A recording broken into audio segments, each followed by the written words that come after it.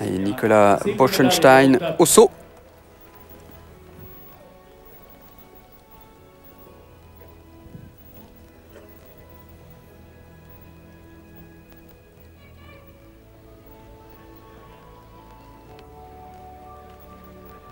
« 25 mètres d'élan.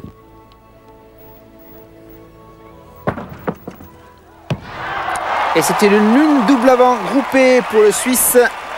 Il y a de l'explosivité hein, dans ce saut de Nicolas Boschenstein. Ah, ça va rattraper l'entrée en matière délicate sur la poutre. Vous le spécialiste, vous en restez bouche bée?